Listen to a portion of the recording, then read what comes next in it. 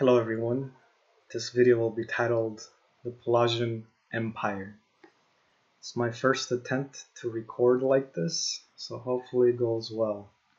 This will be an introduc introductory video to the Pelasgians, and I will explain at the end of this video what will come next.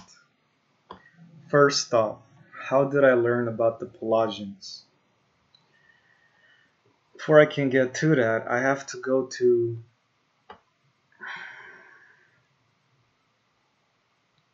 this map.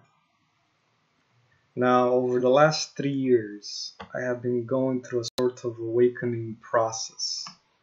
There are many definitions for awakenings, but my definition is literally activating or accessing the library of information encoded within our very genetic DNA. Now, it is not easy because we live in a world of duality and the majority of all that we're presented is a lie. Now, earlier, actually in January of last year, I became convinced that this is where I must go. This would be my destination. This map, with this place in the very center, Polus Arcticus, was where I was supposed to go. Why? Because in the last three years, I have become aware that there is a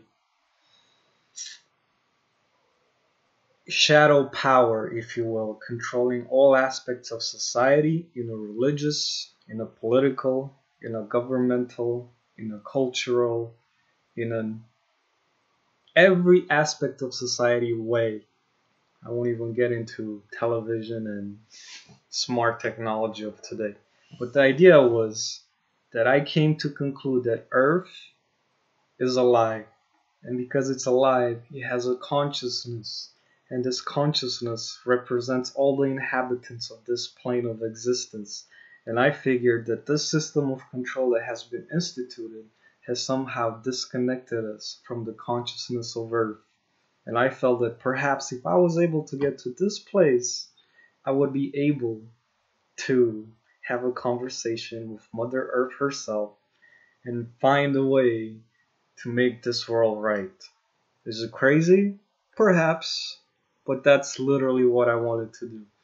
And as such, about four months ago, I took a trip to Saskatoon, which is in Saskatchewan, a province in Canada. And I had intended to walk from there all the way to Polus Arcticus. Now, science or scientists say that this place is at the North Pole, but I was convinced it was actually magnetic north. So I was literally just going to follow my compass all the way north to where the source of the electromagnetic frequencies emanate that create this attraction to north. I don't want to get into that. And I will come back to this map. I will just make one note over here. There's an ocean called Oceanus Scythicus qui et mare tabim. This is crucial in understanding what I will talk about next. So, anyways, I ended up in Saskatoon. I was there for about a week, and I realized after meeting a wonderful human being who helped me in ways that I can never thank him enough. I realized that this is not where I was supposed to go. He told me he's lived there for 60 plus years of his life since his birth he never felt a connection to the land. That is when I realized, it dawned on me as I was sleeping in my tent. The only place I ever felt a connection to the land was the Carpathian Mountains. Why? Because that's where I was born. And we will I will speak a lot about the Carpathian Mountains as I progress through this storyline. Anyways, I became so convinced that I was not supposed to continue that trip that I returned to my starting point here in San Jose, California. And thought, man, I invested heavily in getting there, and now I have to return. And even though I have all the material possessions I need, I don't have the finances necessary to fund another trip to Romania, to the Carpathian Mountains, where I would be, where I'm supposed to be going. However, since I'm a very spiritual person, I, I have felt and will continue to feel that the will of the universe will provide the necessary path for me to get back there, assuming that I pay attention to the signs. This video being recorded on this date of January 11, 111, 2019 is a testament to that because I haven't finished reading the book that I will mention, but I felt I had to get this message out today. So I returned and I figured, well, okay, I'm stuck here for a while. I have no intention of becoming a slave to make money. I have no desire to make money. The best I can do for now is to start training, which means putting on my backpack and taking long distance walks as training. Upwards of 50, 60 pounds. And at the same time, try to research everything that I can find that lets me know why I need to go back to Romania. And that is when I became reintroduced to the idea of the Nag Hammadi library. I became very curious if there's anything stated anywhere about anything of significance in in Romania, the Carpathian Mountains specifically, that meant me going back. Anyways, I came across the Enuma Elish. And this was a story presented by Billy Carson, I believe is his name. Let's see. Yes, this was the one. And as I was listening to this very interesting tale presented by this individual, Billy Carson, I became fascinated with what he said, but more importantly, towards the end of the video, she mentions the Bucegi Mountains, of which are a section of the Carpathian Mountains. She talked about it for two minutes at the end of his video. And I'm like, wow, there's someone speaking about the Bucegi Mountains in Romania? What? So I wanted to figure out more information about what he says. So I searched for other videos that he may have been part of, and I came to a video where he's part of a panel.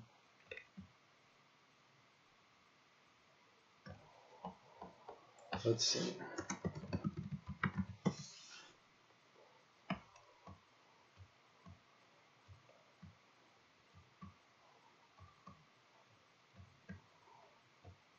What I'm doing right now is I'm just giving credit where credit is due.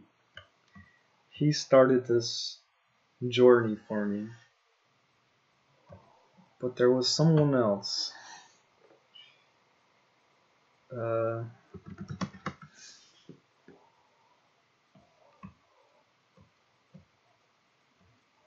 he was on this panel of four individuals. It was mostly some lady talking was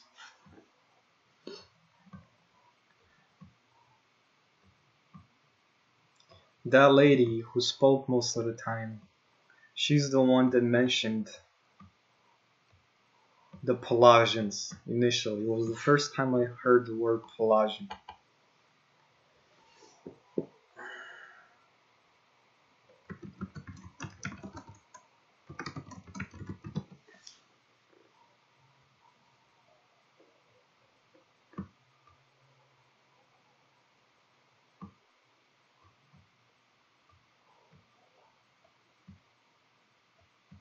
Probably should have done this ahead of time, huh?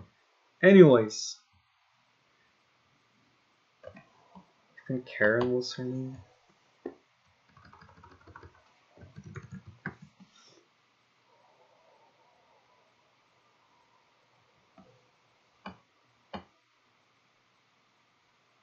Welcome to the Total Wireless Store, where total confidence awaits. I am. So, there's also a, um, to the light, to the understanding. It just, you know, uh, I never got to the main part of the truth.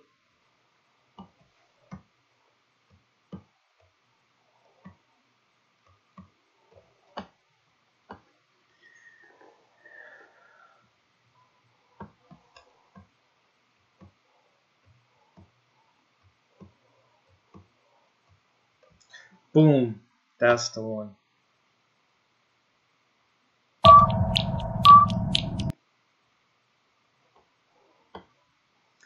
And the person that mentions that is this lady,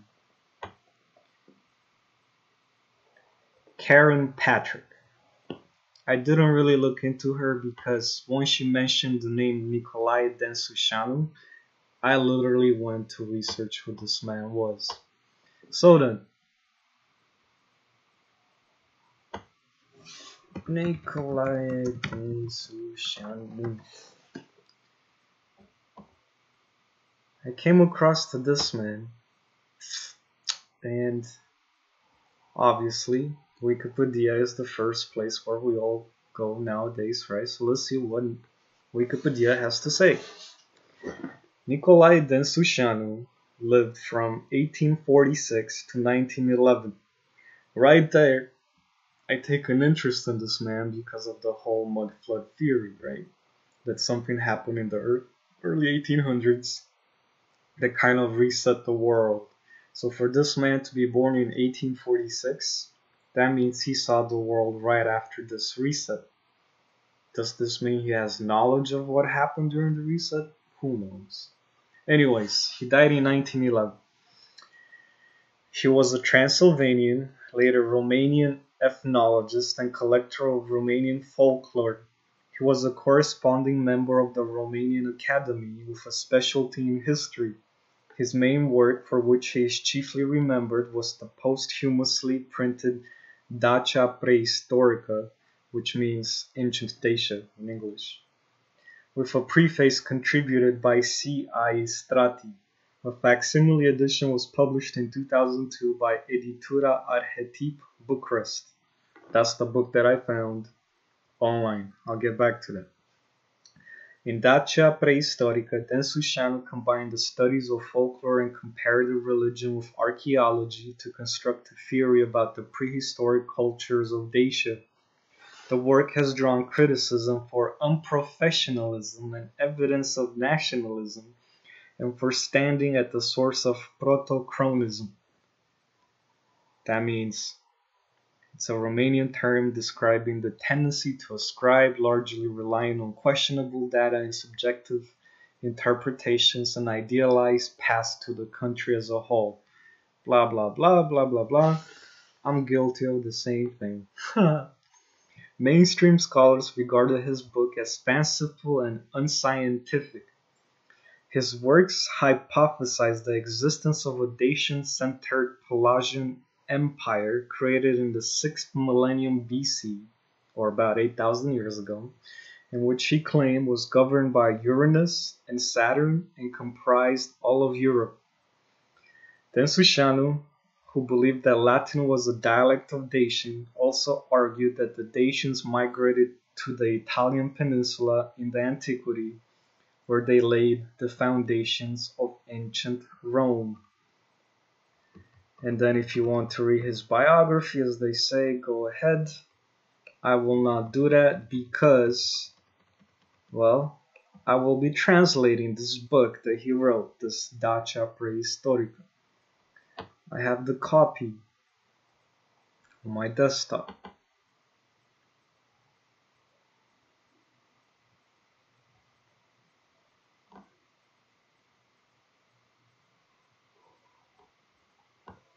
This is it. As you can see, there are 1284 pages total. Dacia Preistorica de Nicolae Densușan. And this book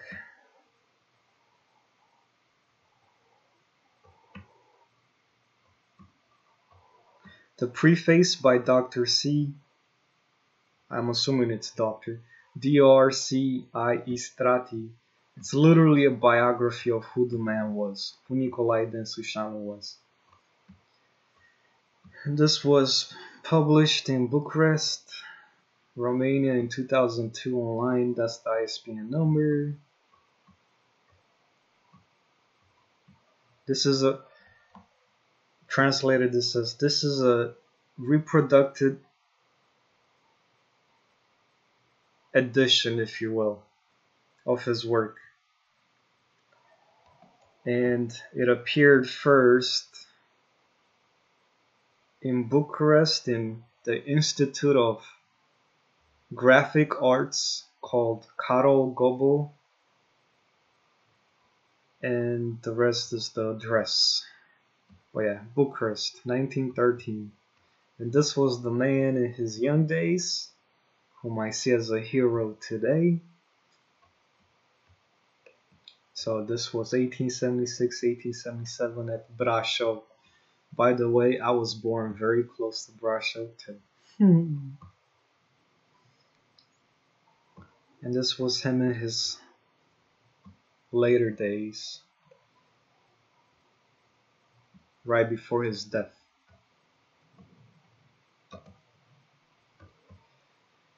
Anyways, I have read over a thousand pages of this book. I only have a little bit more left. And I was so fascinated by all that he said that I I have to translate this book. I have to. Now, keep in mind, when I initially looked for this book, there wasn't many copies available. The only copy I could find was this link. Now, if you're interested in this link, go ahead, look at it, copy it, whatever. It takes a while to load, so I'm just going to close it now. Now, if you look on the internet now and type in Dacia Preistorica,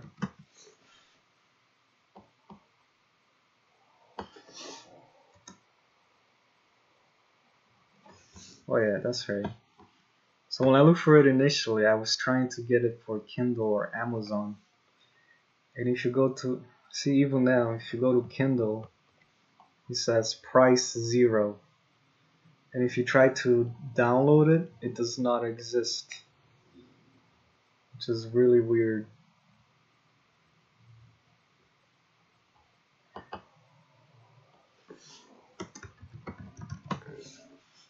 However, since I found it, there have been other links that have appeared, which I so I became aware of this book about two months ago. Initially, there was the one download link that I mentioned. You cannot get it on Amazon or Kindle or whatever, and there was no other links. Ever since then, I have left comments on YouTube videos where I reference some of the material in this video.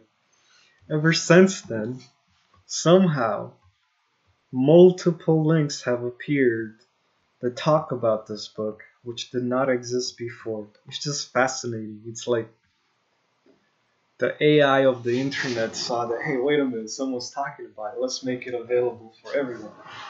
But here's the issue I have with that. Why was it available in great detail only after I mentioned it? What happened in this last two months? Why couldn't this have happened since 2002?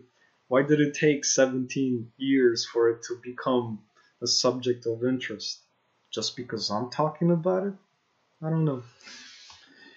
Question marks. But anyways, there are other places where you can get it. There may even be an English translation already. However, considering I wasn't able to find them initially, I have to assume that these translations are somehow biased to the pure work that the man wrote.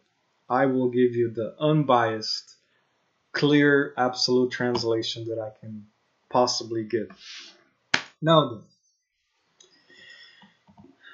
we know who the man is. Who are the Pelasgians? Let's see who Wikipedia says the Pelasgians are. The name Pelasgians was used by classical Greek writers to either refer to populations that were the ancestors or forerunners of the Greeks. And as you will notice a lot in his book, let's go to a later page, let's say 300.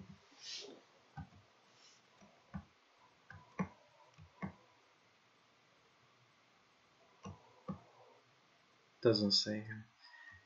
Anyways, in this section where there's the title for specific sections, you will you will see um, the words Proto-Latini, Proto-Latins. That's what the Pelasgians were, Proto-Latins, which is the same thing as these saying, as Wikipedia saying, the ancestors or forerunners of the Greeks, or to signify all pre-classical indigenes of Greece. In general, Pelasgian has come to mean more broadly all the indigenous inhabitants of the Aegean Sea region and their cultures, a hold-all term for any ancient primitive and presumably indigenous people in the Greek world. Now, right there, you have to understand that a lot of what you learn is based on Greek mythology. Also, Roman mythology, also any other mythology that predates the Greek and the Roman empires. Now, this is a Wikipedia map of the Mare Aegeum. It doesn't really tell you much, does it?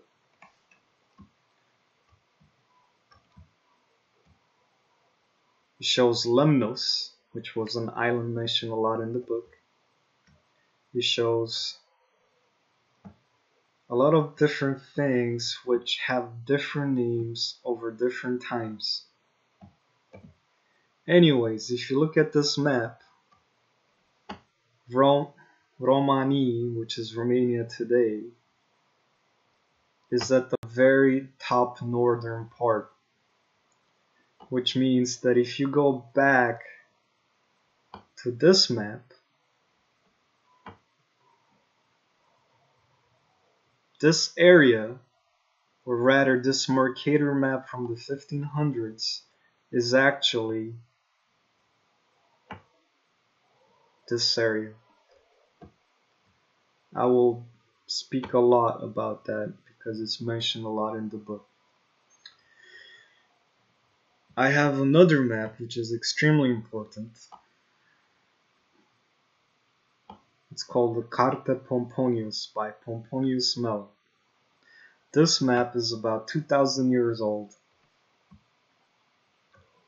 In this map,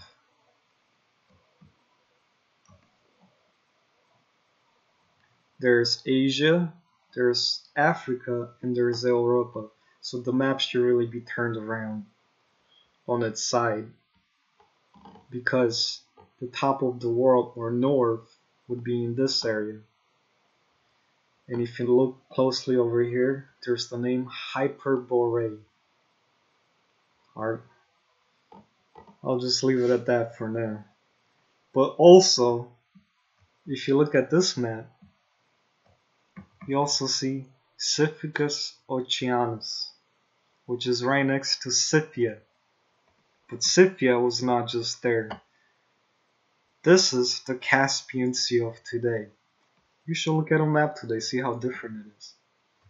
And here, the Pontus Euxinus and the Aegean Mare and this Palus Maiotis, whatever this is, are all connected.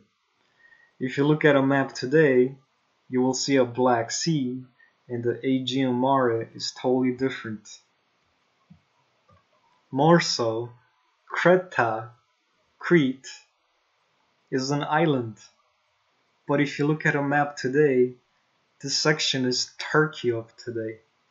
So in essence, the geography of ancient Greece was different than what it is today. And if you look closely, there's all these islands. Check out this islands. You have one central island and one, two, three, four, five, six, seven around it. Tell me that happens naturally. And I will tell you, you gotta think harder. Anyways, based on this map, this area is Greece, as you can tell, Phoenicia, Palestina, Judea, Damascene, blah blah. Egypt.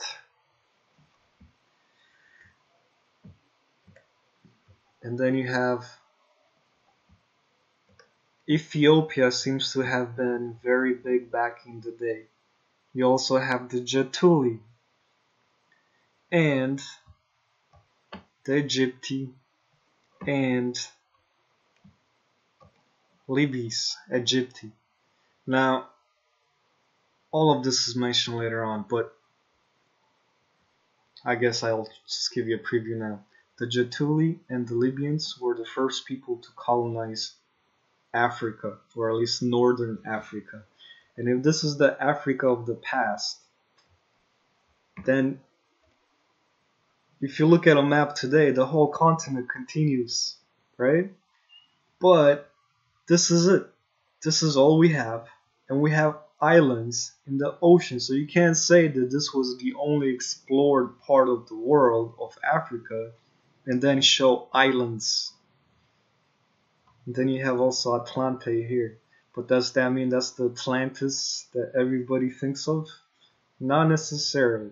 And I will prove to you why as I read the book.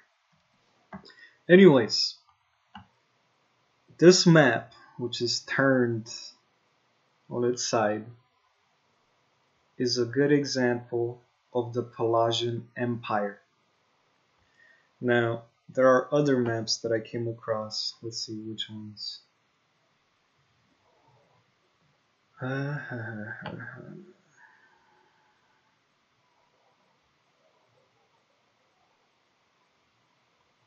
oh, this is a good one. I was looking for a place called Be Beotia.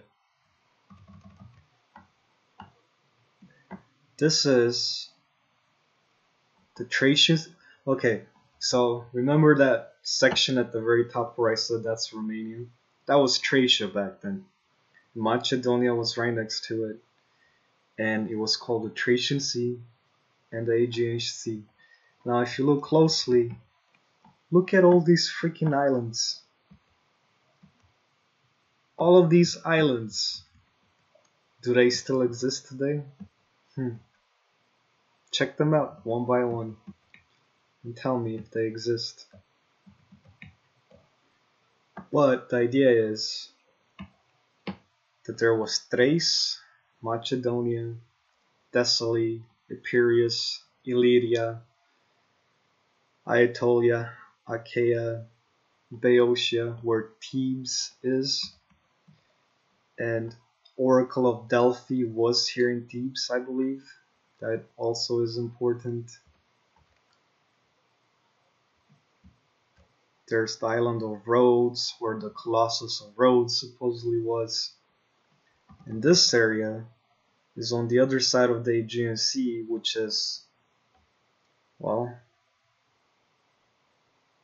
Turkey today. I think it was, no, I know it was called uh, Asia Minor. This whole area it was called Asia Minor. In fact, there's another important map.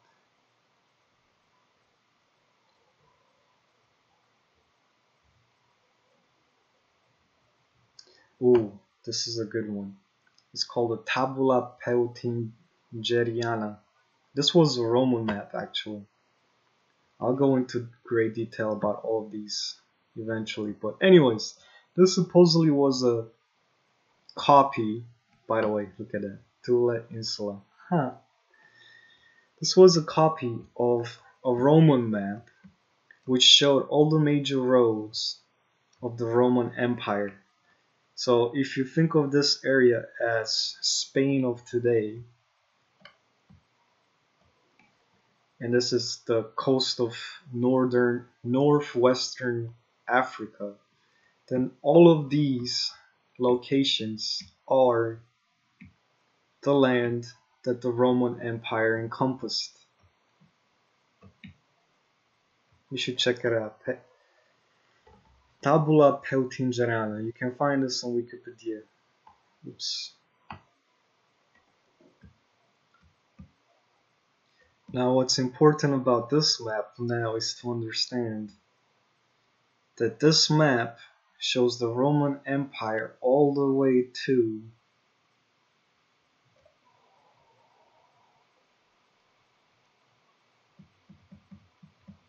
where is it?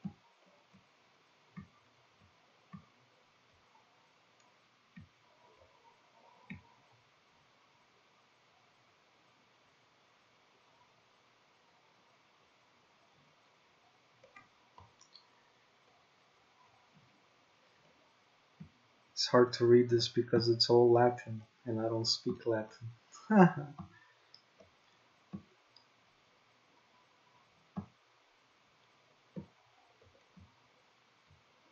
okay, so this is Iberia.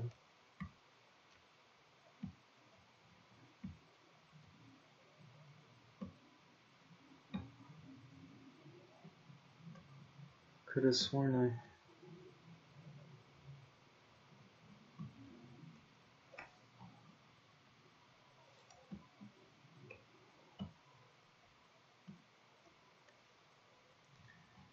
Party, Paried. Hmm. Where is it? Anyways, you see a lot of Scythe, Scythe, Mons Katakas, whatever that is.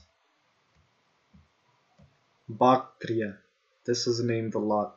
Bactria. In the book, he talks about a lot. I could have sworn this showed India somewhere. That's what I was trying to show you. Hmm.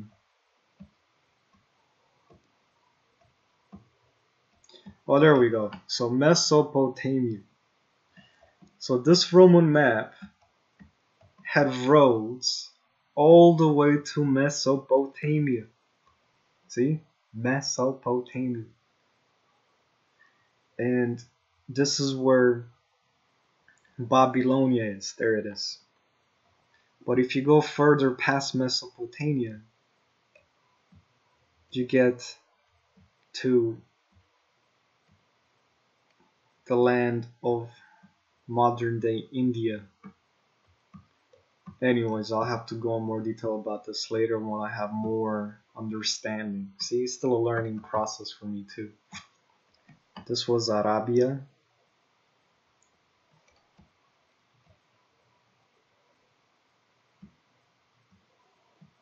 Oh, another important thing was, where is it?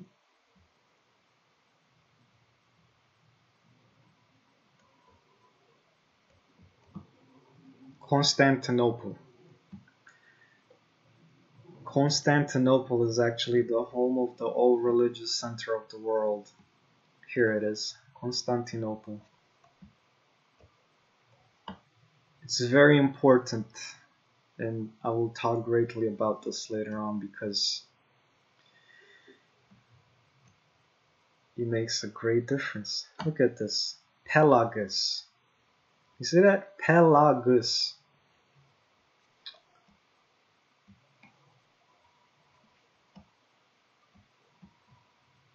So this is called, I think it's called Adriatico, Adriatico Pelagus. So the point with this map is even though it's not an accurate map of what the world looked like back then, it's definitely a map that shows that there were connections between the worlds of the Roman Empire, the Arabian Empire, the Mesopotamian Empire, and to the north, the Thracian Empire, the, and other empires. I don't want to give too many details. What's more important to understand is the idea that everything is connected. Like, for example, Mesopotamia. this was the world of back then, okay? So we have Black Sea, we have the Caucasus Mountains, which is part of Asia today, but you will notice that there's also the, the Caucasus Mountains around here. And we have the Caspian Sea, we have Asia Minor. This is where all those islands I was talking about were. And you have this area, which today is modern Iraq, but back then was, I guess, the Fertile Crescent, Assyria and Acadia, and see Nineveh. So in essence, all the all the Sumerian myths, see Sumer or Eridu or Kuma, Babylon, it's all here above the Syrian desert, Arabian desert. But the point is, it was connected to the Mediterranean Sea or the Aegean Sea of the past. So the world has changed a lot ever since then. And that's why we're unable to connect the dots today because everything is seen as separate episodes. We have the Babylonians, we have the Egyptians, we have the Romans, we have the Greeks, we have the Thracians, we have the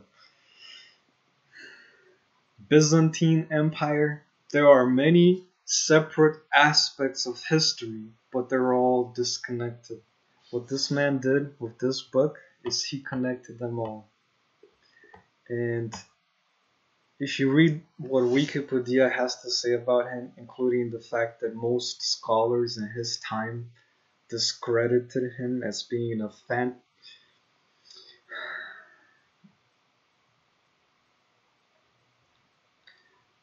I don't care what anyone else had to say about him. The idea is this. Look, let me show you something. Every page he wrote has references on it to other books. Like for example, this is a reference. Notice how it's in Latin? I cannot translate that, but the point is that this is the book. Cantemiri Descriptio Moldavi edition 1872, page 15. So if you know Latin, go ahead, read that book, and you will see what it has to say that this man translated. Not everything is translated in, into Romanian, but enough of it is to understand what he's talking about. Look, another reference, Hasdeu, the, the dictionary of the historic language. And okay let me rephrase that. This is a dictionary of the historic people and languages. And then the edition and then the page number. Then another book called EB EB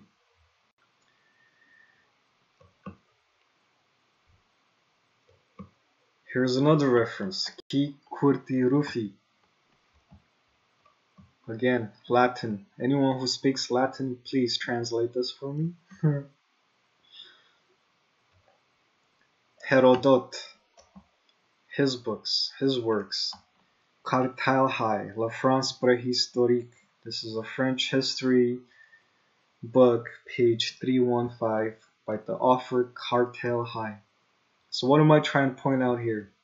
That the man used hundreds, if not thousands, of books as references to write this one great opera, as he calls it. Herodot, Quint Curtius, Strabonis. Who else? Pierre Ovidi, Pindari, Pindar. That's a that's character too.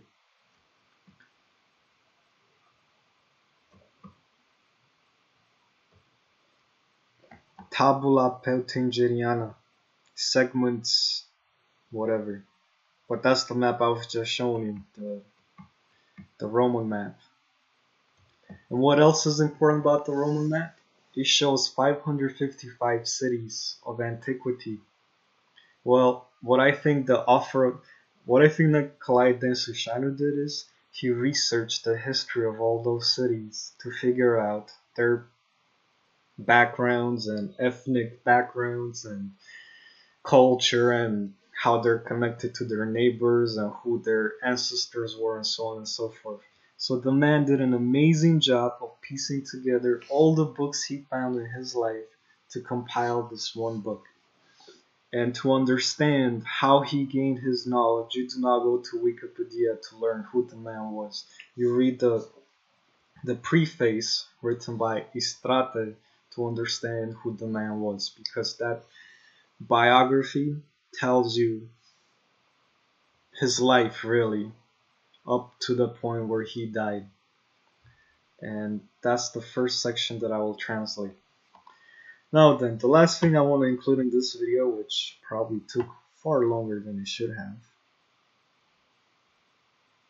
Let's see, 40 minutes, holy crap. Is a table of contents of what this book is about. So it starts on page 125. Everything prior to that is the preface by C. Stratton. I have to read that so you understand who the man was. So in the first sections he talks about the times prior to the Pelasgian Empire. And off the bat he starts talking about Apollo, the Hyperboreans, uh, Apollonic legends of the Hyperboreans, Oceano, which is the ocean in historic traditions, which before there were the oceans of the world, there was only one ocean. He talks about the Chelsea, the Celts briefly. He speaks about the insula Leuce or Snake Island as it's known today. He speaks about the White Monastery with nine altars, which is he also calls it the tradi- the Romanian tradition about the primitive temple of Apollo from the island of Leuce, also known as White Island, also known as Snake Island today. He speaks quite a bit about that. He speaks about the megalithic monuments of Dacia. Now you have to understand, Dacia today is understood as a group of people that used to be on the land of Romania. Now you could say I am a descendant of the Dacians. However, the way he speaks about the Dacians encompasses literally the people of the known world. So Dacia in the sense of this book, is the entire Pelasgian Empire. That's why I can't say it's oh just one dislocation, but I'll explain that later. On. He speaks about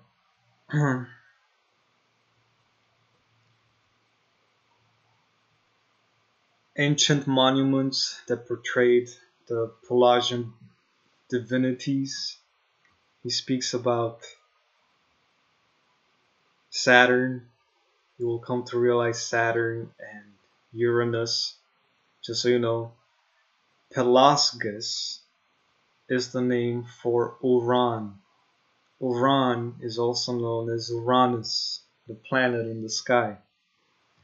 That's important to understand. He speaks a lot about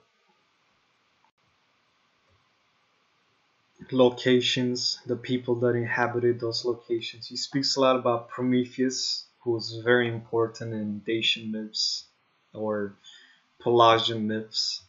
He speaks about Atlas. And just so you know, if you've ever wondered where Atlantis is, just know it is the kingdom of Atlas.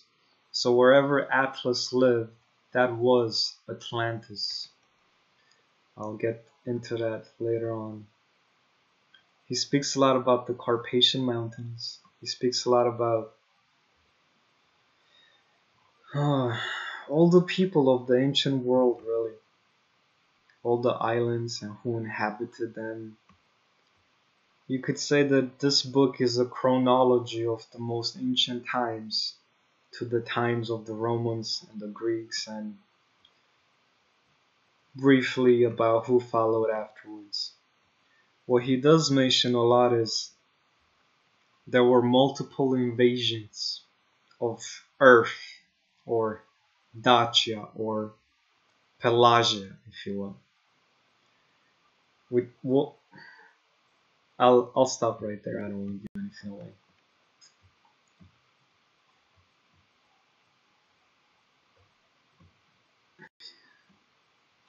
Later on, he starts speaking a lot about the Pelagians and the different islands of the Aegean Sea of today, islands which no longer exist.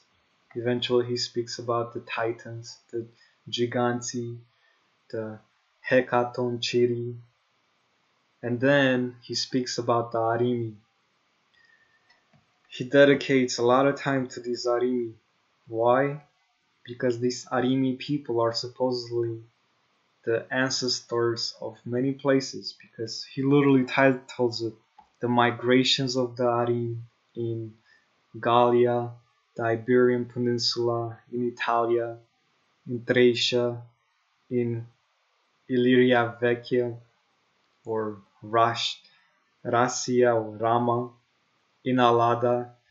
Alada is another word for Elysium and the Greek world was known as Elysium. Everything else was known as Tartarus. That's where Tartaria comes from. And if you want to know better, Tartar is actually coming from the word Tatan, which is the plural of word Tata, which means dad. So Tata became Tatan or dads and eventually through the changing of language, the letter R replaced the letter N. So it became Tartar instead of Tatan. It's, he talks about that a lot. But the idea is that common ancestor of the Tartarians, which are shown in the northern parts of Europe and Asia, and even the Americas, are the Tetons, which the origins are, well, the Arimi. Speaks about their migrations in in Asia Minor and Armenia, in Syria, in Palestine, in Arabia, in Egypt, or rather Northern Africa, because it wasn't just Egypt. He speaks about who these people are today, how there were several genocides when other invasions of the world occurred. In essence, he speaks about the history of our world up to a certain point, and from that certain point, I can complete his work, if you will, by saying who has invaded the world in the last cycle. And those same entities ruling the world today, which we know as the Jesuits and the Jews. This actually happened at least 500 years ago in the 1500s. And, well, we're all slaves ever since, unless you're part of them. One thing that I have talked about before, which is important to note, is that the common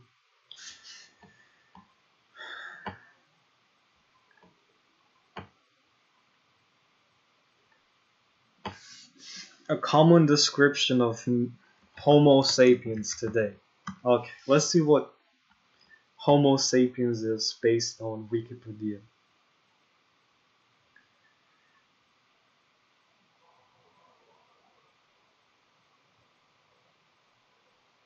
No, this is not it. Alright, jaw. Um, is it jaw? Brain case anatomy. Alright. So, the cranium lacks brain case, brain case anatomy of Homo sapiens, who we are today, right? So the cranium lacks a pronounced occipital bone. The highlighted section is the occipital bone. Relates to the. Oh no, it's actually the back of the head. Never mind. The cranium lacks a pronounced occipital bone in the neck, a bulge that anchored considerable neck muscles in Neanderthals. Modern humans, even the earlier ones, generally have a larger forebrain than the archaic people so that the brain sits above rather than behind the eyes. This will usually, though not always, give a higher forehead and reduced brow ridge. Early modern people and some living people do, however, have quite pronounced brow ridges, but they differ from those of archaic forms by having both a supraorbital foramen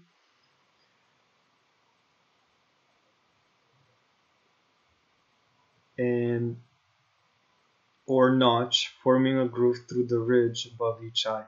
This splits the ridge into a central part and two distal parts.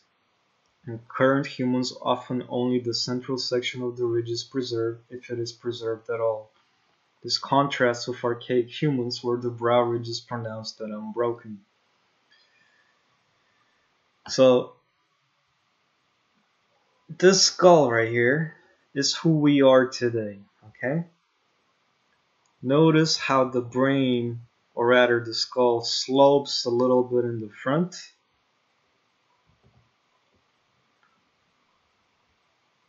But overall, this is who man is supposed to be today. Now,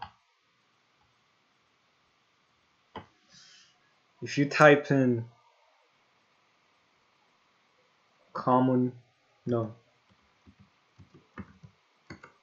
male head size, maybe that's it.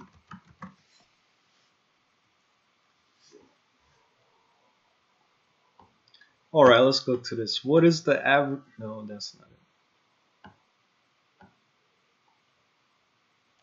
Back to Wikipedia, I suppose.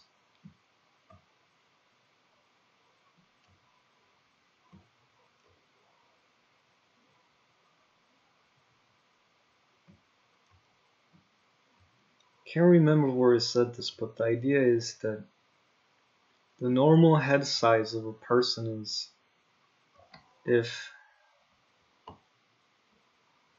if you take your hand the width of your forehead should be four of your fingers.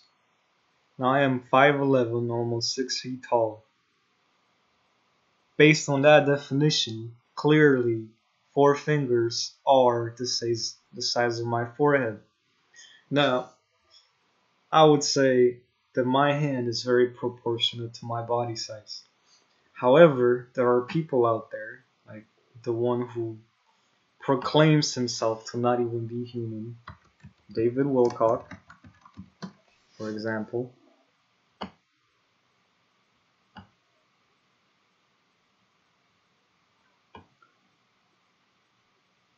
check out his forehead.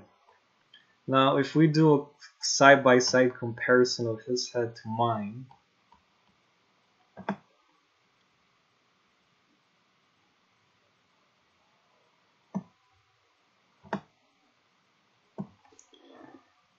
See my hand?